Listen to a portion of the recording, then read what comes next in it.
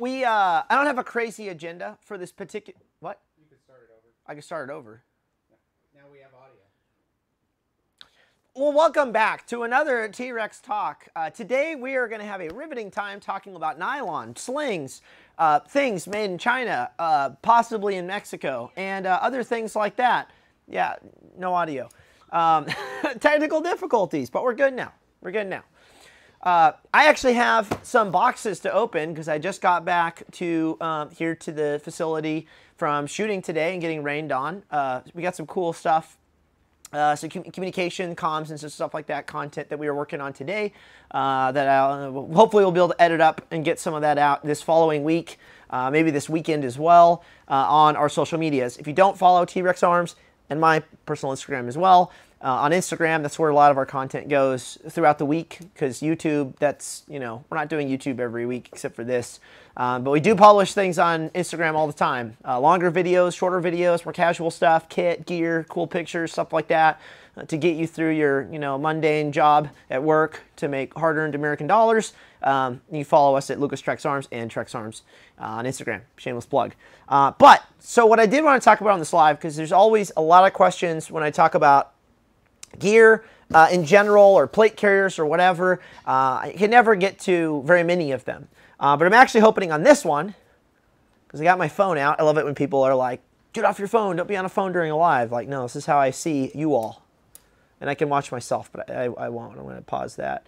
But I can actually see what you guys are asking, and we can try to get into it. I also have a bunch of gear back here, some plate carrier loadouts, some belts, chest rigs, things I've bought on eBay this box from a pretty cool vendor actually that we're actually uh, we're gonna open up here in, in, a little bit, a little bit.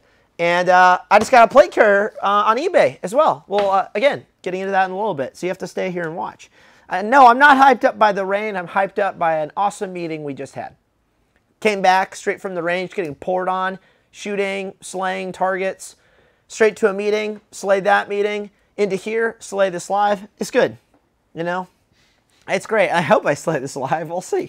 So let's talk. Let's answer some questions on nylon or kit or gear, whatever you guys got.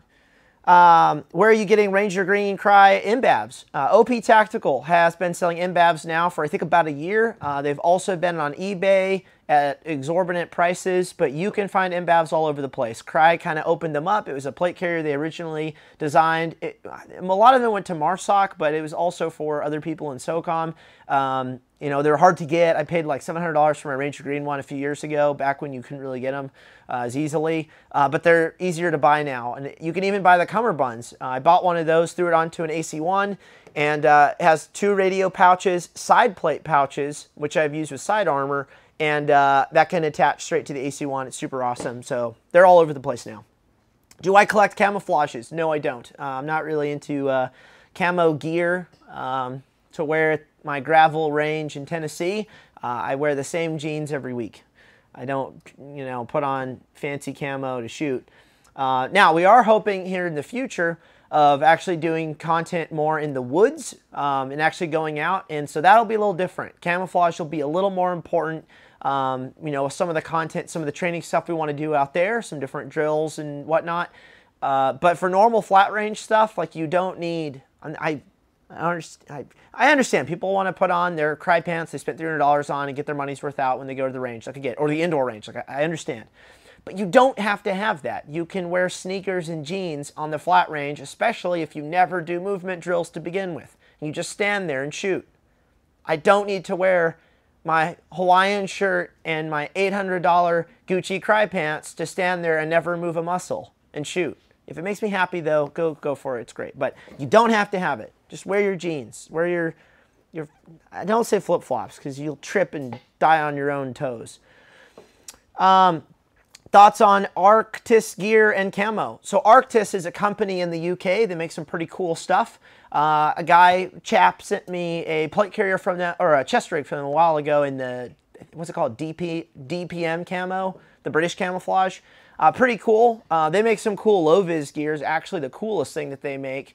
Uh, they also have some, you know, more overt stuff that I believe is still being used. But the fact of the matter is, Crye Precision, it's used by a lot of NATO people, special operations all over the world. It's not just an American entity. Um, you'll see SAS guys wearing Crye stuff. You know, they don't just use stuff from their own country. Uh, Vans on the range. Yeah, lots of people do that. It's turned into like a fad. Uh, that's for sure. Little thing. Uh, LA Police Gear plates. I'm not super knowledgeable on the plates that LA Police Gear is offering. Um, I'm sure there's people out there who've talked about them, who've studied armor, like really, you know, exhaustively that I've looked into those and some of the other ones. I'd like to learn more about those and RMAs and stuff like that. Uh, there's other people here in the company that do more research on that than I do. I shoot, I pull triggers. I don't, you know. Yeah. So, favorite slings. So, I have used a lot of slings. I need a sling. Drew, would you mind grab just off of that ACOG, a 16 inch gun? Uh, there's a lot of good slings out there, provided you have a sling that, in my opinion, it should be adjustable. There's no reason not to have a sling that's adjustable where I can modify the tightness of the sling with the weapon on my body. As long as you have a good adjustable sling from a company, you're good to go. Every sling will have its, thank you, its little nuances. Some slings have huge pads, some don't. Uh, some have built-in QDs that are sewn in or have clasps that you know you hook straight to the gun that are like hard sewn in. But as long as you have a sling that is adjustable in some way, so you can make it tighter and looser to your body, it doesn't really matter that much which sling you get. The slings are just great. Spiritus has one. We've got one. Haley's got one. Vickers has one. Uh, uh, Kyle Lamb has one. Uh, every other company out there, small companies, they all make an adjustable sling. Some still make traditional slings that aren't adjustable. That's just like one piece of webbing. But get an adjustable sling. And don't run it in a single point. I don't recommend a single point unless you're using like a sub gun.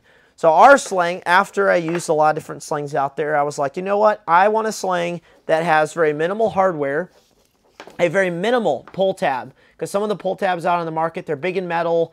And the reason I wanted something that was super minimal is I wanted a sling that I could fold up on the gun. So I'm not going to bring a gun out. I can't. Yeah. I know, I was thinking that. But I wanted a sling that I could fold up on the gun and still operate the weapon without the sling being deployed. And the best way for that is to have thin hardware, uh, thin, you know, a very thin pull tab. Also inc included with the sling are, are little uh, shock cord, little uh, retainers, so you can actually keep the sling to the weapon. Uh, there's a couple things we did because I wanted to optimize the sling for actually keeping on the gun at all times. So it's not constantly, you know, loose in the car and snags on something when you go to grab it. Uh, I wanted something I could stow on the weapon. Uh, the other thing is I wanted a minimal pad. I didn't want a pad that was so big it would catch on all of your kit.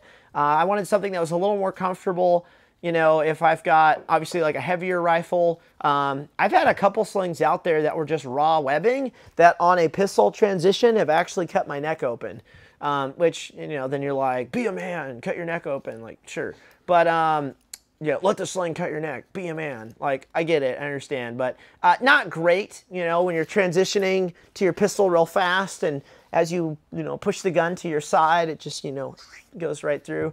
Um, so I wanted something that had, you know, binding. It wasn't just the hard edge of the webbing, had a little bit of pad. And um, this is what, you know, uh, has resulted in. Uh, Derek, who's our nylon R&D guy, he had a bunch of this already figured out when he came on board. A couple little adjustments were made, and that's the sling right here. Uh, we used to sell the Slingster from Ferro Concepts, another good sling. I've used Spiritus' sling, good sling, although the metal uh, little tightener thingy adjusters, a little big in my opinion. Uh, Haley has a cool sling, although the pad's really stiff. Um, every company has their own like little nuances, pros and cons. Uh, just make sure you get an adjustable sling. From us or someone else, I don't care. Get one you can adjust. You get it tight to the body when you stow the rifle. Loose so you can actually shoot and do things. Um, so TRX Arm Sling. That was loud. All right, back to the questions. Oh shoot, come back. Um, all right. What's the progress on the Orion belts? We've had a bunch of Orions in stock now for I want to say months. I'm sure some colors they devi- you know they deviate based on you know I don't know if that's the right word based on stock. Like Ranger Green is now the most popular color, which I totally understand because it's awesome. Um, so I don't know. Uh, would you like to get some German issued gear? I would love that. I would love that. Yes, I love getting gear from other countries and seeing what's going on. In fact, I think now is the time to open this. But first, let me let me check through some of these and see if there's any really fast ones I can get through. Why Ranger Green when Multicam Tropic exists? Uh, very simple. If I have to wear Ranger green in public, which I have done before, uh, back during uh, there was a season of various activities that were occurring in cities across America. Uh, we went to one of our local towns with a guy who had connections and had some places he was protecting. We wore our kit, we had all of our stuff. Cops knew what we were doing, it was all kosher. Uh, Ranger green looks nice and official and professional. Camouflage looks really militaristic. That's kind of camouflage is generally used by militaries for military type stuff. When you're running around with camouflage in the populace, that doesn't always um, demonstrate uh, certain things that are good, certain vibes. Um, so yeah, multicam tropic exists, but it's a camouflage. It looks like a camouflage. Uh, if you're trying to wear that with denim, with button-down shirts, regular stuff, trying to look like a you know a normal citizen, a professional citizen, um, Ranger green is just more professional in a urban type of situation than wearing camo, even if the camo is a similar color. That's why I don't really do multicam because most stuff happening these days, look at what's going on in certain places up north, it's in the city. You don't really have these things happening in the country. I don't have stuff in my county, you know, these types of activities occurring in my county in the woods. Don't have that. Now that's something that could be different. You know, that could be, you know, people paratrooping, you know, over our mainland and, you know, war, you know, whatever. Uh, then stuff's in the woods. But right now, everything's urban. Literally everything's urban. Uh, the majority of counter-terror stuff happening in Europe, it's all urban. Um, so it's, you know, when you're selecting your gear, choosing your stuff, you know, there's a time and a place to choose it for the woods, but most stuff nowadays is happening in an urban setting. It's definitely something to think about. Camo versus solid colors, gray, green. Gray and green, it's great. Blends with a lot more stuff and it doesn't look super militaristic. So it's great from a community, um, hearts and minds kind of a kind of a situation, which you do need to think about. So let's open up this box. I think uh, I'm not sure if the camera angle, so I'll. Oh, yeah, there we go. We're good. All right. So this is a company. Um, they're based in Australia. Uh, this company is called SORD, S-O-R-D, uh, Special Operations Research development, maybe. I, I actually don't know what this stands for. Um, they make some really cool stuff. I, I stumbled over to their site uh, a few days, uh, like, I don't know, four or five days ago. They have a US based retailer and they have this really cool uh, colorway called SBC. It's basically, you know, khaki, uh, like traditional. It's not like, it's like the, the yellow or khaki. It's not coyote brown. It's not coyote brown. It's this khaki color and they're super cheap. It's like they're getting rid of it. So like these pouches are like 10 bucks, right? And uh, I thought, you know what? I want to get more khaki gear. I want to solidify some of the stuff we have here in the armory, have some of this, you know, tan colors. So I went and bought a bunch. So uh, rifle pouch, standard MOLLE, pretty cool. They were like 10 bucks. GPS pouch, $6. Put this on a war belt put a GPS in there or whatever I want. Uh, little radio pouch. This will fit our, you know, Hyteras or whatever. I think it was like 10 bucks. Uh, the, okay, these are these are cool. I bought two of them. Uh, these are super rad, and I've never used these before. So this looks like their tourniquet carrier. Uh, so you can have this on your your armor or on your belt, but it actually it opens just like a uh, their tourniquet carrier is a dump pouch. So it's great for all your loot. I mean, all your things that you find. Um, so it's kind of cool. It's not the best dump pouch out there, but if you need to quickly like stow some stuff in it or off of your belt, uh, it folds up nice and small. Uh, I think these were like 20 bucks. It's really not that bad. Um, so starts in this, turns into that. It's one row of MOLLE to attach. Um, I saw these on their site and was like, that's dope. I would love to have that. I'll put these on certain belts or on my plate carrier. You know, running it on my plate carrier right here. If I ever need to stow, you know, a bunch of extra stuff, a gas mask probably won't fit in there. It's a little too narrow, um, but all kinds of stuff. So super dope. So two slim dump pouches. That's cool. Uh, 40 mic mic pouch. A little horizontal in the SBC colorway. SBC colorway, just admin pouch. So this can go on a plate carrier. Got some elastic on the inside. I think this was like $18 or so. Really not that expensive. Okay, that wasn't supposed to be Coyote Brown, but this is Coyote Brown. Uh, khaki, two more rifle pouches. Nice, nice. So I can do triples. This is really old school too. This is very Aussie and old school, but it's cool because uh, it still works. You know, like it, it works. Uh, flashlight pouches. These cost uh, also. Uh, they were not expensive, although it's open in the bottom. I guess if you have a large enough accessory, it won't fall through. And they did that to make it cheaper. You know, then I have to close it off. So I get it because these were also like ten dollars. It's just open in the bottom, but it gets tapered, and so it's probably fine. Um, this is kind of fun. So everyone now has, you know, dangler style pouches. I will say, based on my understanding of gear and kit and kind of how far we've come, Ferro, I believe, was the first, or if not one of the first companies to make popular pouches that go here. I know Haley had one. He didn't really push it a whole lot. Um, it was kind of a box. It wasn't real, you know, there wasn't a lot of form to it. Uh, but Ferro came in with the dangler and it kind of like formed to your kit and kind of your body a little better. It, it had more aesthetic to it. And uh, now everyone makes these. Um, these styles of pouches that go underneath your plate carrier give you more you know, space to put things uh, without bulking out your kit. Uh, so I bought a pouch from Tier Tactical. They've got one. It's very similar to another company's. Uh, and SORD, they have some. They got a little one like this. They have a larger one, and they got a bunch of other ones. So, boom, pretty cool. I could put uh, some Snickers in here. That's nice. Suppressor, yeah. Just keep it on the gun. Um, oh, this is great. This is a, a belt. Now, this is quite traditional. SBC, of course, so I could build this out right now. But um, this was 30 bucks with a buckle. I'm going to kit this out. I'm going to run a high power, and then this is going to be my Aussie clone, uh, my Aussie military clone, and I'll run my AUG. But uh, standard MOLLE, what is cool about this one is this is tapered, as you can see, to your body. It's not just a straight up flat like belt, but it is actually tapered and it feels pretty good. Um, the only downside to this, well, the big one, is uh, there's no sort of non-slip material here.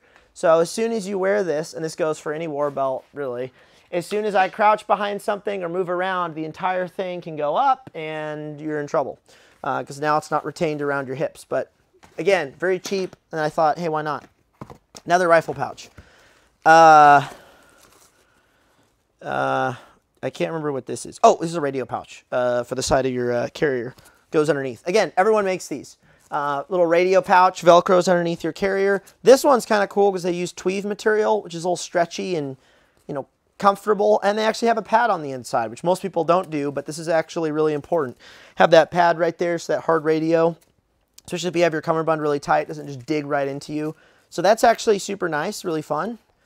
Um, all right, then they had these. Okay, so this is the weird stuff. Uh, another grenade pouch. They have these backpacks, which this one was like $35, which, again, I don't know where they have this stuff made. It's possible Australia has different rules for Berry compliance and foreign manufacturer. I don't know. But it's like 35 bucks. Um, and they called this the, uh, actually, no, this one is 50. The other one's 35.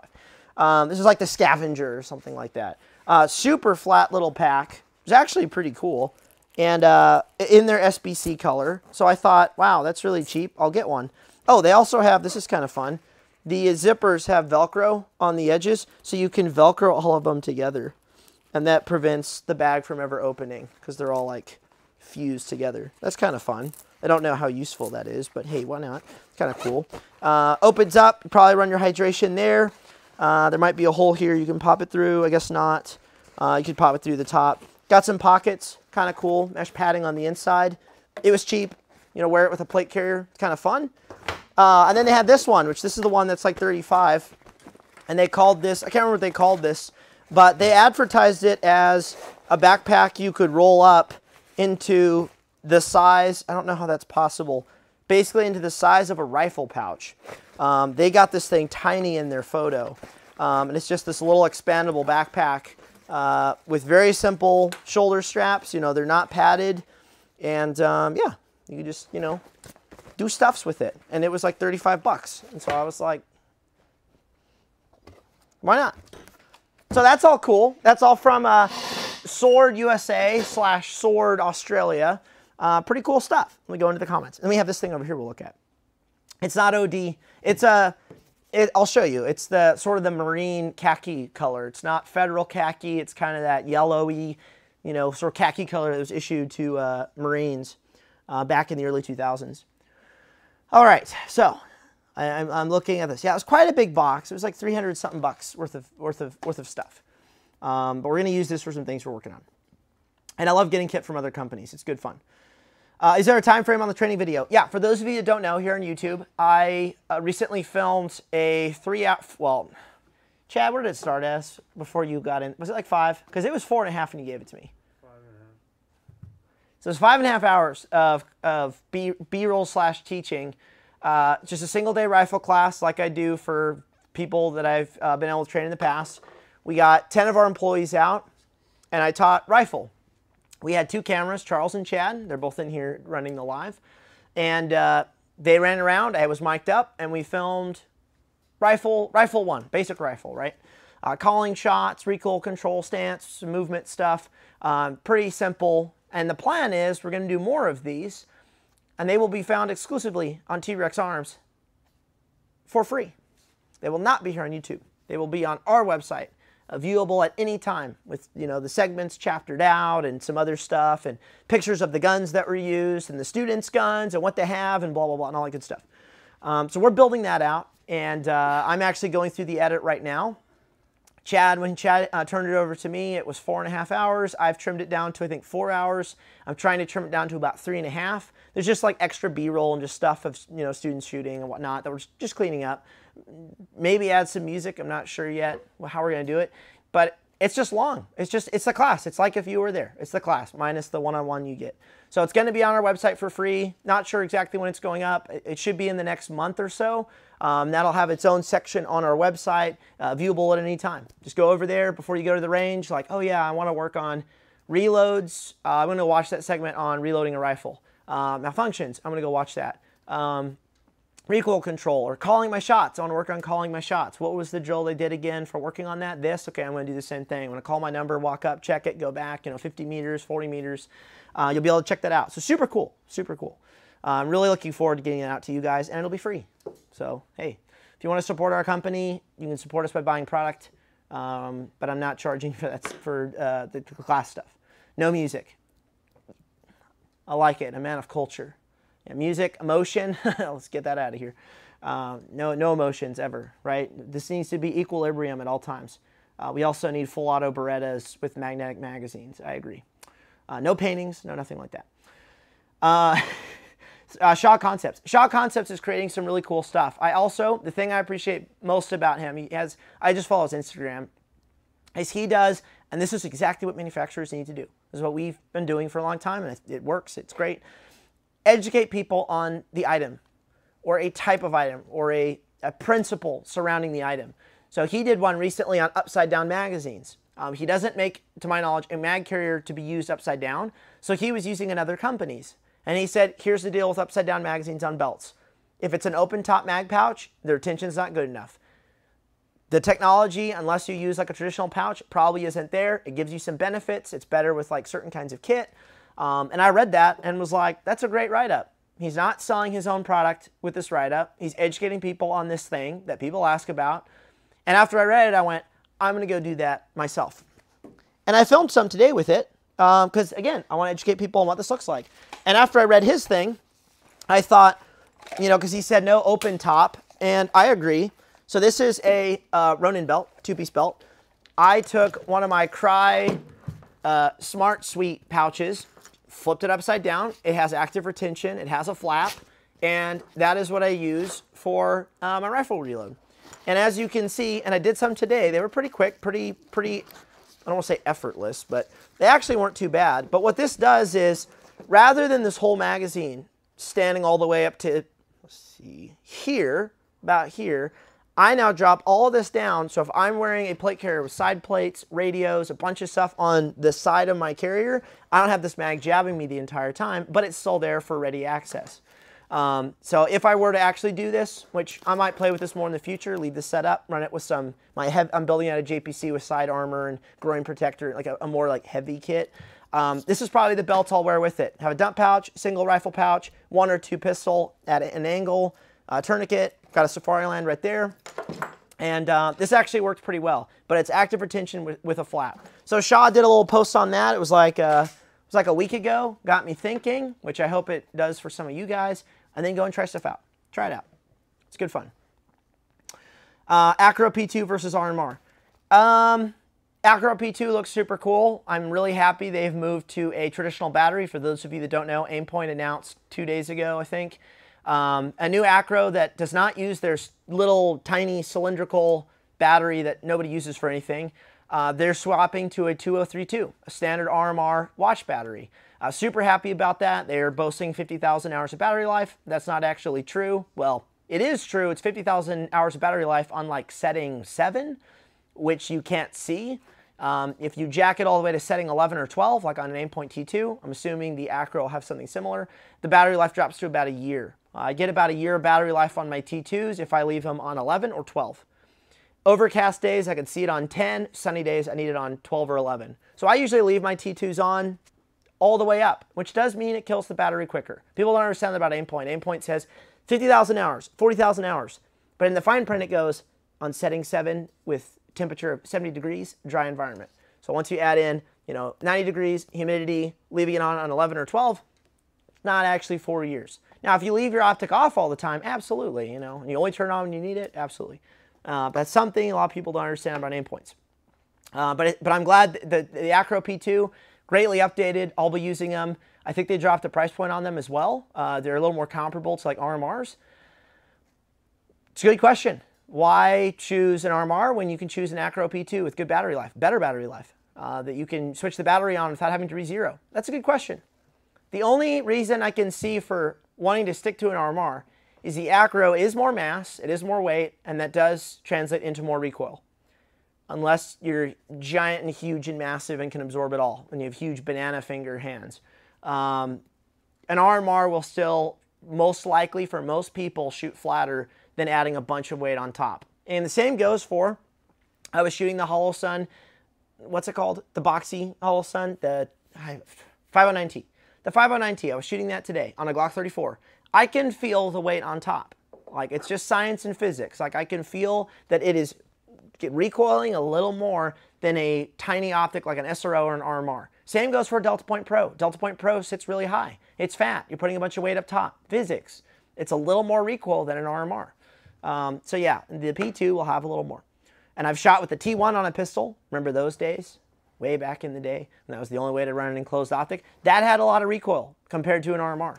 Um, so that's the only reason I can really see for not running one. But, you know, is what it is. Um, do you have a setup for open carry? I don't open carry. Uh, if I did, I would run a Safariland ALS on a belt and two pistol mags on my left side, and it would be black. Um, most people would see that and go, he's here on official business. I'm not going to give him any crap. Uh, if you wear camouflage or a bunch of crazy colors, they won't think that. And they'll probably ask more questions. Uh, but black Safariland with double pistol pouch, it's pretty official looking, pretty professional. One take status. Uh, we are working on a bunch of stuff right now. Hopefully when that's done, we'll be able to get back to some normal content. But you'll like what we're working on. It's just a matter of getting that out of the way. So it is what it is. Uh, do you own any leather holsters? I do, actually. I'm a FUD in disguise. I actually did buy two leather holsters. Um, can't remember who makes them. Um, for a weapon light, uh, believe it or not, Sunbreak, because uh, I wanted to run some of my more traditional guns, um, like the high power and some other stuff, and the, we don't make holsters for all those. So I found this leather holster on eBay it's made for a weapon light, and I can actually run a variety of pistols in there. CZ75 with weapon light, uh, high power without a weapon light, a bunch of different guns. It's kind of fun. I've used it like a couple times, uh, but I don't train with it a whole lot. So that is what's cool about leather. You can fit a lot of different guns. That is the advantage of a leather holster or even a nylon holster over Kydex, although it still it's not a good enough reason to use those. Excuse me. Please do a video on the saw already look, if you haven't noticed, there's an ammo crisis right now, okay? I don't think the internet would be able to handle it. I'm actually not joking. Well, I'm half joking. If we did a one take with the saw and I burn a thousand rounds and do a barrel change, do a suppressor change, uh, I don't think the internet will, I don't think people will be as accommodating to that video as they would have been two years ago. Now, to some extent, do I care? Mm, maybe, maybe not. Um, I don't know. So it is something to consider. so we'll see. I know what you're thinking. I know what you're thinking. I know, I know. I know what you're thinking. Maybe, maybe not. Uh, what is the best option to secure the KYWI mags to MOLLE? The best option is malice clips. Um, Esstac sells these little Hypalon straps. I don't like them. They're good for some pouches. Um, but the standard uh, tactical tailor, I should have some around here. Standard tactical tailor malice clips are uh, this plastic material that can fill the entire MOLLE and prevent the whole pouch from sliding around. You definitely want to do that. And make sure you MOLLE it right. You wouldn't believe how many people, real fast, I'm going to give a demo. Because some of you in here may not know. MOLLE. MOLLE is a system, PALS webbing, that was developed back in, um, let's say it was the 90s, as a, a better way for soldiers in the military to attach equipment to their kit uh, over the ALICE system, which used these plastic slash metal prongs, thingies, that you would slide into thingies and put the gear on you, right? So MOLLE and PALS utilizes an attachment interface on the pouch. You have the load-bearing gear, this lovely war belt from SORD. You run uh, oh, geez, this could actually be, because these are webbing and they're fat. Thank you, Charles. Webbing. You insert webbing into webbing on your, your desired piece of equipment. This is how you use MOLLE, right? I can't tell you how many guys that I've trained with, done stuff with, SF dudes, other folks from other organizations. Yeah, I'll move more of this out of the way. You can just say it. You can just say it, all right? This isn't super official. That haven't set up their pouches properly, and the whole thing's like wobbling around. So you go through the, the first row of webbing. You then scoop this back onto the pouch through its row, because this is all sewn to like interlace with the other material. Trust me, there's so many people that don't know how to do MOLLE. They just send it all the way through and back, and the whole pouch, like, it, it stands out from the gear and wobbles around. Then you take your two webbings, you send them back in, and this gets really annoying on some gear, especially if they sew the MOLLE with uh, poor tolerancing and it's tight and certain, like even these, like this one right here, this is a little too tight. They sewed this, it works, it's just, uh, there's no give. And that can be good. If there's no give, it means the rifle mag or your radio won't shift back and forth. So that can be good. So we run that through. This is just going to be on here permanently because, you know, I'm just putting it on. Actually, no, I'll have Josh take it off. Just kidding, I won't do that. I'm about to use my teeth on this. So you pop that through. So if y'all can see, I got going into the webbing, out to the pouch, through the pouch, into the webbing, out to the pouch. It's like, uh, it's like you know, sewing or quilting. I'm sure some of you guys are expert quilters in here. Just absolute bosses, right? Uh, so now I'm done. So I go back onto the pouch into its its webbing. Man, this dynamic, this really like crazy lighting makes this fun. Goes back through. You guys are probably bored stiff. But look, I'm doing this for the people in here that have never used MOLLE or don't know how MOLLE works. And then this one has these convenient, because this is all designed to work, well, I guess it's just the pouch. It has these little keepers here at the bottom of the pouch. You pull these up it shows some Velcro here. The pull tabs ad adhere to that. You shut it. Wow, this is actually a nice little, little design they got going on here. And now this is firmly and also, as you can see, flatly set up to the belt. So there's no movement. The pouch won't move. This is one with the belt. That's how MOLLE was designed to work. But you wouldn't believe how many people don't know that and they don't do it right. And it's just like, are you lazy or you just not know? Because some people they just want to you know throw it on, they don't care. So that rifle pouch is on the belt, and uh, it's going to stay. So that's MOLLE, right there. Boom.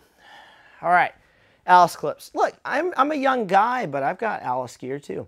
I have to I go buy everything. Um, that's on the yeah. That was uh that was uh. What's a good word for that? Disappointment, I guess, uh, is a good word for that, for that video. Or just that the whole like concept behind people being upset about citizens training and having a right to bear arms. You know, when if you're upset about the Constitution, you know, or the Second Amendment, and then you use your military status to justify your upsetness for the Constitution you swore to uphold and defend, it kind of kind of says a lot. Um, pretty pretty wild. But anyway, um, do you guys make mag pouches? Yes, we have uh, Kydex Mars carriers for competition belts, regular belts. We don't do. You can put them on MOLLE. I don't recommend it. It takes up a lot of room on MOLLE. I recommend an actual like pouch, MOLLE pouch of some sort. Um, but yeah. Uh, MOLLE, what do you think of alien gear? Funny you would ask me, uh, but I'm not gonna answer that. I'm a, I'm a, I'm a holster company. All right, that's kind of. I mean, I guess I'm talking about other people's nylon. They're cheap. All right, I said it. Uh, that's on backwards. No, it's not. You're wrong. Uh, well, I guess it's not upside down. It could be. Duct tape, you're not wrong. Uh, would you? Yeah, oh, I already did. Uh, will your med pouch? Yes, it will. Uh, yeah, we haven't had stock. Are you talking the fully kitted one? We've had some issues getting some of the stuff from North American Rescue, just quantity. Uh, certain dressings, I think because of a certain national disaster that occurred last year, some of that stuff all of a sudden became hard to manufacture because they were taking that and turning it into masks. Um, so we've been waiting on some stuff to restock the like the kitted med ones, uh, the refill kits, things like that. We're just waiting. But yeah, no, we actually like we actually that's not going away. It's just a matter of getting the stuff back. One R one drill. Keep doing it or stop doing it. Do it. Do it. If your reloads are fire and they're awesome, here's what you should do. Start doing one reload four. Um, what this does is the problem with a one reload one, the biggest problem, and I know people just go out there and say it's bad without addressing how you fix the bad and where one on ones are good. One on ones are great as far as saving ammo, saving money, but getting the rep in of a reload, like the rep of a reload. In fact, it doesn't even have to be one R1. You could start bolt locked and literally just do this and load and not shoot. You could dry fire the whole thing. Now having, you know, starting to uh, sort of learn the impulse of the weapon, only having half the recoil, locking to the rear, and then you dump the magazine, like that is part of reloading a rifle, so that's why a 1R1 exists. The problem with a 1R1 is there's no follow-up shots after, so people get really lax on their recoil management, pistol or rifle. Usually it's more pistol. They fire, they reload, and on this shot, they have a really loose grip with this hand, and they just fire and just take what they got. And for only firing one shot, that works. It's fine. But if I got to dump five rounds, 10 rounds of, of that magazine after my reload, I, I want my good grip. Like I need my good grip to be able to control recoil and get good hits. Um, same with a rifle. You know, there's a uh, grabbing the magwell after a 1R1 stupidest thing I've ever seen. I don't want to be shooting 10 rounds from here. Like we don't magwell grip anymore. So even though it's really fast to fire one, reload and go to the magwell, that does not set me up for success if I have to shoot more than one bullet. It's really flashy and fast for one shot, but it doesn't work for other drills and other things that you need to work on. So every once in a while, what I'll do, uh, we did this in, uh, I think we did it in the class actually. We did our 1R1s, and I think we did a 1R5 uh, I believe. I could be wrong, um, but that's what I usually do. Is I go straight from one R1s into one reload four. So it's one reload, good recoil control, four rounds, uh, where it's actually testing your recoil control. Um, same with pistol. So big deal. I'm sure there's some juicy comments after what I said. It's good fun. Uh, thoughts on the LBT 6094? Uh, LBT, they make some really good kit. I've had 6094s in the past. I don't know the differences between the new one, the, the V3, I guess. I don't know what version they're on, but um, well, I know cans. We have Sontricos, uh, pistol, uh, subgun cans. I was running one today. I don't have rifle cans of theirs, but uh, what is the best choice for sling use, single or two? Two points. Um, more retention of the sling to your body. Um, I like attaching my sling though to the, uh, not on the stock because when you start, you know, throwing the stock up over your shoulder, manipulating around things, that sling then drops behind your back and then when you go to drive out, it catches and you can't. So I attach my slings near the pistol grip and that gives me full motion of the stock um, and the it's independent from the sling. The sling is still retained around my shoulder uh, and I can still do all my stuff. I should do a sling video soon, but uh, two point. I do two point. Uh, Bison belt, they're cool. Slicksters, I think they used to be better, uh, although I haven't used a new one back because we used to sell them and then they changed some stuff and adjusting the shoulder. Their system for adjusting the shoulder pads I'm going to say it, it sucks. You have to get a piece of plastic. You got to go up underneath. It's not exposed. Like I know why they did it. It it looks cool. nothing's exposed and it's slick. Like I understand, but from an end user standpoint, you know, as you transition between what you're wearing and seasons and just setting up in general, having to go up inside the carrier with a little piece of plastic and undo the Velcro and, and drag it through and set it and then put it on, oh, it didn't fit, and then do it, it sucks. Um, so we, so when they updated it, I was like, I'm not a big fan of this. Bison belt, pretty cool. Um, although the inner belt is really flimsy. And what I've learned in using two-piece belts and the inner belts, you need a belt that an inner belt that is rigid enough to help support the weight because uh, that's the thing going through your belt loops that helps supports the weight of all the kit on the outer belt. If you have a flimsy inner belt, the entire thing is like falling off of you because that is not through your belt loops. The outer belt's not through your belt loops. Um, so you want to have a good inner belt that's got some rigidity to it that can help support the weight. So their inner belt is, again, in my honest assessment, because we have one, it's crap. It's too lightweight. What I would do is I would take their bison belt. I would go buy, the Ronin one is too stiff. You want one in the middle. Uh, but let's say a Ronin belt. I go get a Ronin inner to go with my bison outer and I'm done. It's rigid, it'll help support the weight, and it'll be awesome. That's my opinion though. Um, just how it is If you don't like it, that's okay. It's my opinion as a, as a human being. Um, you don't have to like it. Um, don't know anything about their belt, the GBRS belt. Uh, it looks like a, a uh, what's it called? What's the material called? A Tegris. It's a Tegris supported uh, nylon two-piece belt. Uh, there's a lot of them out there. It's probably going to be pretty good. You're going to be able to put your stuff on it, put it around your waist. Pretty cool. You know, I don't know what little things they're going to add to it to make it different. Um, but modern two-piece belts that have stiffeners inside of them, that have a good buck, Cobra, you know, a Raptor style buckle in the front. I mean, they're all kind of the same. They just have little things to add to it. So it'll, it'll most likely be a good belt unless the people making it will have, oh, it's LBT. So yeah, it'll be a good belt. I think it's LBT. Uh, if you get one, I'm sure it'll work great. Uh, dead air cans. I have a K. I don't have any of the long ones. I have a K for a, it's actually on my, uh, one of my MCXs. It's great. Um, Sons of Liberty Gunworks. Don't have any of their guns. I've heard all sorts of things, good things, okay things. I don't have one. I don't have a lot to say. Um, I haven't tried to go and get one yet. Um, at some point I may. I did just buy a, uh, a Remington R5. some of y'all may know what that is. Um, so that's interesting. And we have a Rattler inbound that we'll play with. Uh, we're not running any promos right now. Oh, actually, no, I take that back. We do have a couple promos. We have an L, uh, what do we have? Slings. So the sling I just showed, that's on sale right now. And uh, L210s, Drew, do we have L210s on sale right now?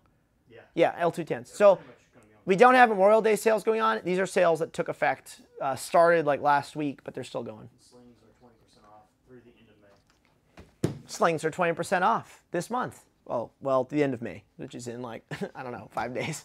So yeah, for in, for the month of May, they're 20% off. So yeah, uh, if you need a good sling, you saw me talking about it. Um, yeah, go uh, go pick one up. They're super cheap.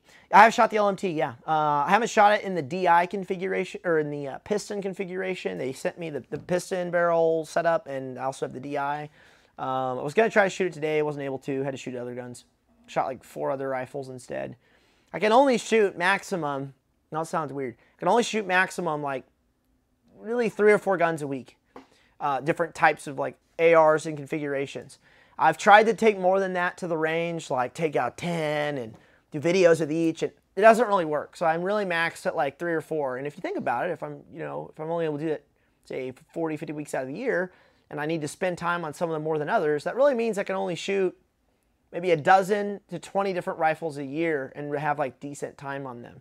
Um, I'm not gonna be that you know YouTube shill who shoots. Uh, and again, well, even them, let's let's numbers are great.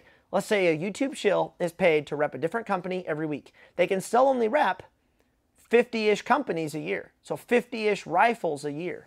Uh, they're not doing that many. At least I hope they're not doing that many because that's a lot of shilling. But um, there are some limits as far as like testing gear and how much and how often and you know because there's just a lot out there. Uh, you gotta you gotta pick. I've got guns here that I bought forever ago that I've only shot once or twice because I had to move on and shoot other stuff and work on other things. Uh, it's all time. Time is everything.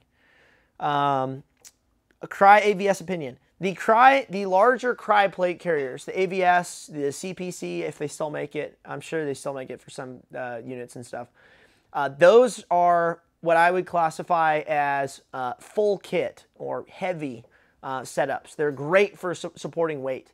I've talked to guys, so obviously what you have, I don't even have a, my JPC is sort of configured as one, but you have your, you know, your slick style vests, right? So this is an AC1, which, and this is, in my opinion, this is, it's not full slick. This is like in the middle, right?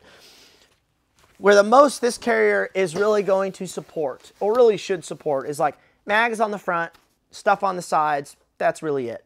I'm not to layer it with a ton of weight for how this plate carrier is created with its pad system, its support system, you know, whatever it has. Like the CPC and the AVS, they have all kinds of stiffeners and supports built into the carrier and pads built into the carrier to support weight.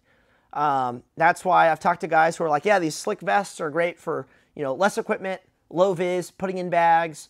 Uh, you wear it for, you know, a few days, whatever. But if we have to haul around, you know, two full-size radios, all of our batteries, uh, plus water, uh, plus three mags on the front, two mags on the bottom, uh, extra ammunition in the back, uh, plus our pistol mags, plus our flashlights, plus our headlamps.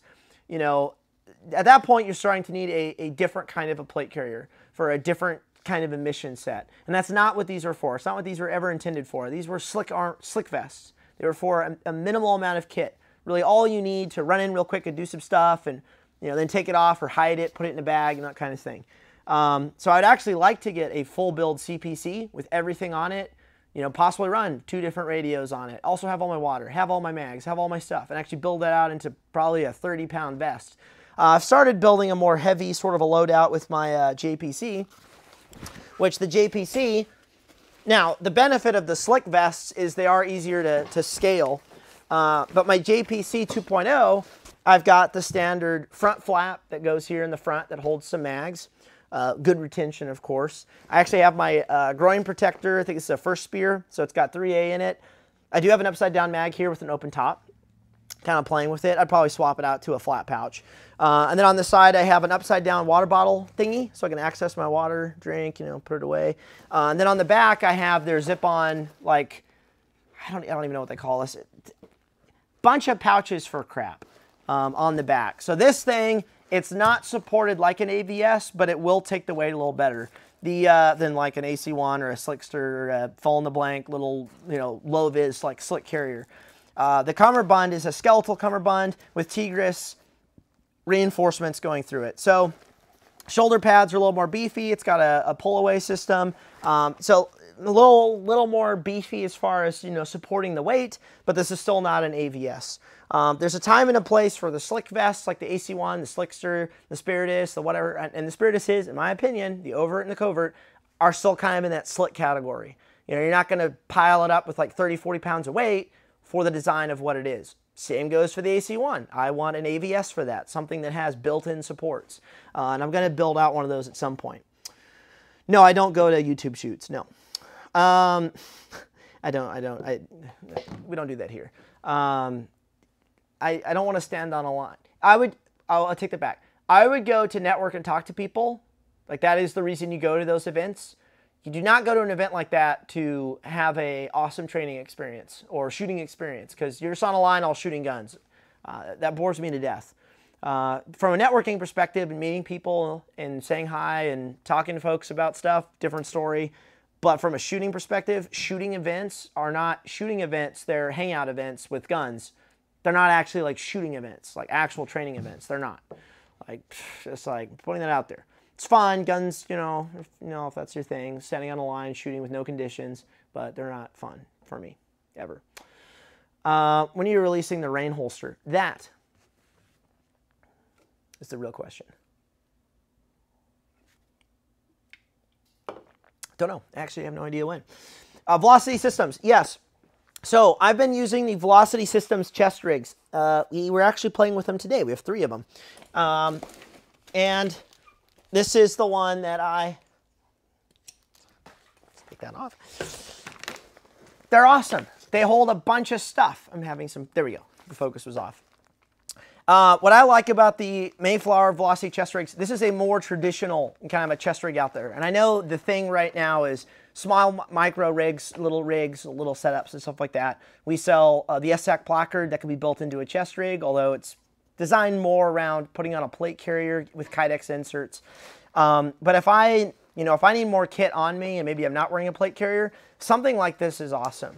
Uh, the thing about the Mayflower that I actually really like is it's not super wide, you know, it's not huge all the way back to here, although it's not necessarily a problem.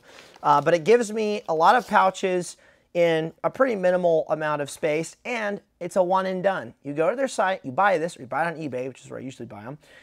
I get it within like, you know, five days because it's eBay and it's there and it's in stock and I won't get optics planeted.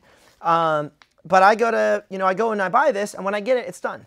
It's got its harness, it's got its all of its straps, it's got all of its pouches built in. There's no modification really uh, that's needed. I don't have to rip pouches off, don't have to do anything. And what this one gives me is two, let's see, accessory little pouch here for a flashlight right now, accessory pouch over here with a knife, two pouches in the front. I have a extended Glock 17 mag. I have, that's a Sharpie, but normally I can put anything there I want. Snickers bar, I don't care. Two GP pouches on the front. This one has a Right in the Rain, a big American flag patch, which if I need to slap that on, I got it. Uh, light thingy, another Sharpie, because oh, I guess I forgot I had that. Electrical tape, and a compass. Boink, got that. This one has uh, GPS, more electrical tape, or maybe there's no electrical tape there. Uh, some lithium batteries for my night vision, uh, 3A or whatever 31s run on, uh, and pan, uh, the battery pack. Uh, it's uh, double A's, double A's. Uh, four rifle magazines. Radio goes here. Water bottle goes right here. So I have a way to have some waters or whatever I want, and I'm done. Uh, tourniquet on the bottom with uh, two of our little sling retainers, and I can do other tourniquets here on the side with our little cat tourniquet holders. Uh, so this is a one and done. I, I really like, like, there's a time and a place for modular, but sometimes it goes too far, where you are layering so many layers of Velcro and zippers and stuff to make it work that now it's bulky and huge, and you've deviated from the original purpose of modular. I just like the simplicity of this. I have the pouches I need to do my stuffs. It's not the fastest, slickest, coolest rig in the world, but if I need to carry radio, water, GP type stuff, um, on the inside here I have a trash bag. I have a video coming up on Instagram as to why I have that there. You'll see. But I have that on the inside. There's an admin pouch here for maps. Um, but I really like one and done rigs. I'm sure that's something T-Rex will be doing more in the future where it's not super modular. It's just thing for holding stuffs. Buy it. They also end up being cheaper. This is like $200. If I were to build this out with like a modular system, this would be more like $400. You know, pouches that go on the side, pouches that go on the front, uh, a flat pouch, a zipper pouch, uh, a harness thing. Then you add this and you add that and you're like 300, 400 bucks. But this guy right here, one and done, I'm set. I love it. I think it's great. I've had this for a while, but I've only just started recently really diving into it It's kind of coming full, not full circle, but kind of recognizing some of the deficiencies of modular gear.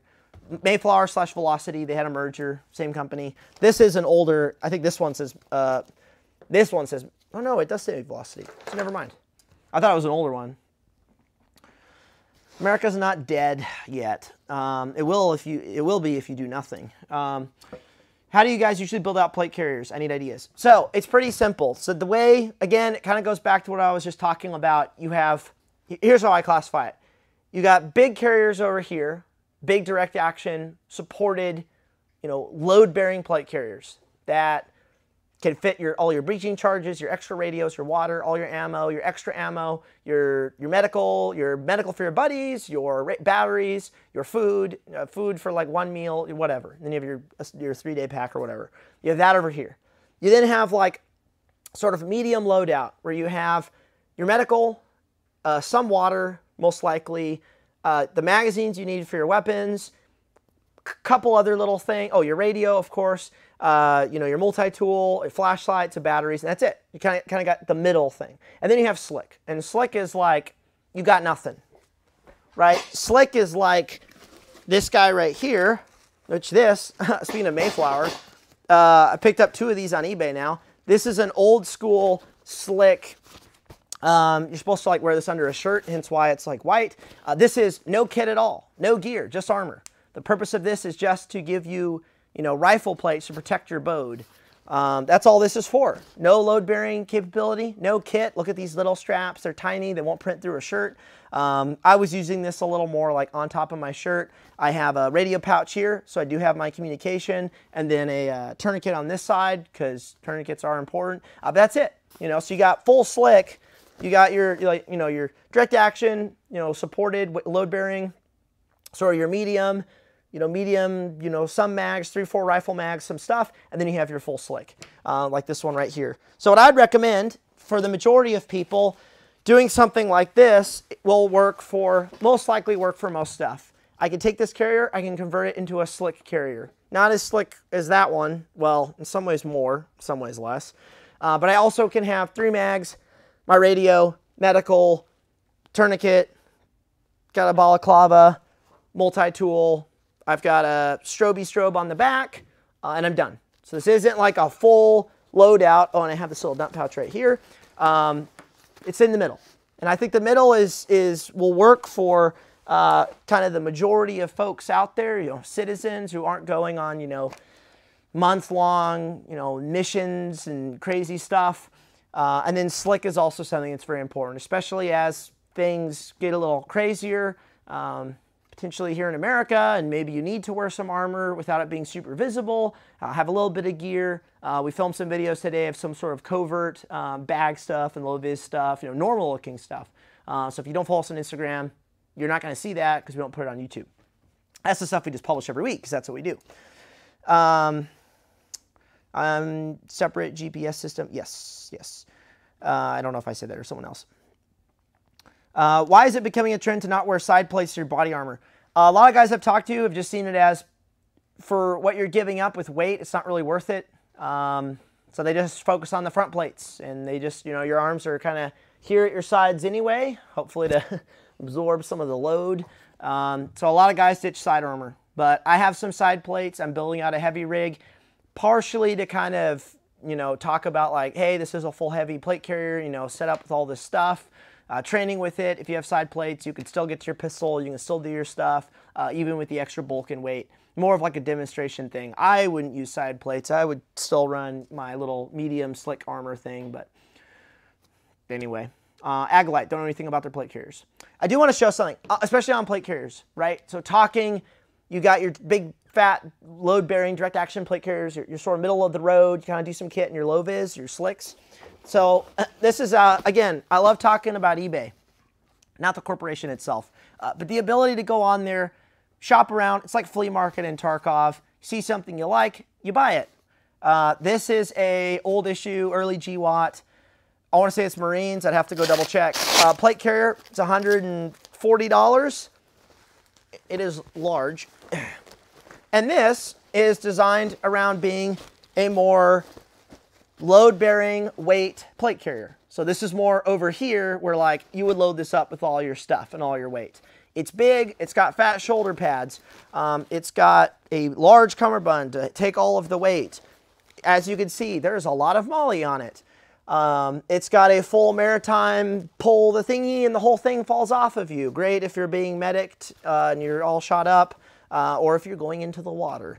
Um, so I picked this up, there's a ton of them up there on uh, eBay for pretty cheap if you absolutely need a plate carrier to put plates into. Um, it has MOLLE on it, so you could slap stuff on it.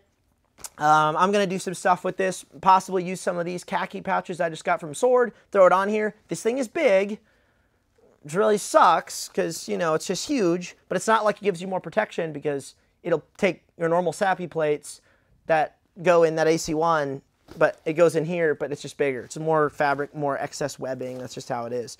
Uh, made by Eagle, so, you know, uh, quality, quality carrier that is uh, traditional. Some of you guys on here have probably used these and hate them or love them, one of the two. But large carrier for supporting weight, kind of fun. We're gonna build it out. And that takes side plates and armor and 3A and all that good stuff. So anyway, with all that said, guys, again, I just need to do more Q&As to cover equipment because the questions, there's always questions. We can never get to all of them. It's unfortunate.